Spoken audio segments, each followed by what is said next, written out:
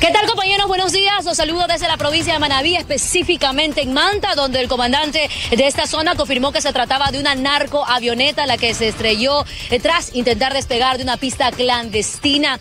Ellos indican que presuntamente la avioneta tropezó con un árbol y luego perdió el equilibrio y se estrelló efectivamente. Sin embargo, al llegar peritos de criminalística hallaron en la escena, además de restos de la nave, dos cuerpos calcinados.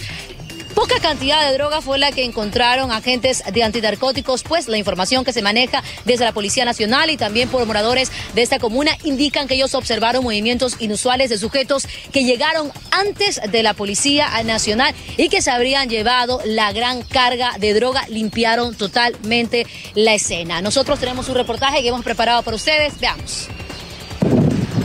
Agentes de antinarcóticos al llegar a la escena dos horas después del siniestro encontraron una camioneta doble cabina con placas de Manaví, además de una caneca de gasolina y cerca de 100 gramos de cocaína.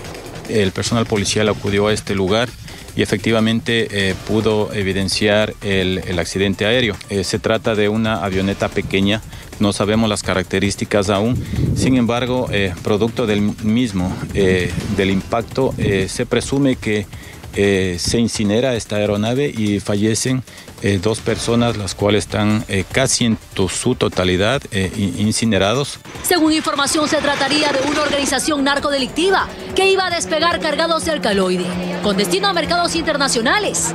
La nave no tenía plan de vuelo autorizado y el sobrepeso habría ocasionado la emergencia en el sector de Manantiales, Montecristi. criminalística tomó procedimiento, hizo un, rastreo de todo el área cercana eh, eh, al accidente y efectivamente eh, pudo encontrar vestigios de, sustancias sujetas a fiscalización. Que existe un camino dentro de un área de sembríos totalmente extenso en donde pudo haber sido utilizada para el, el despegue de esta aeronave. Varias pistas clandestinas vienen siendo investigadas en esta zona montañosa de Montecristi desde el pasado 10 de marzo, cuando otra narcoavioneta se estrelló con dos ocupantes mexicanos y un ecuatoriano que cumple sentencia por tráfico de drogas. Catalina García, 24 horas.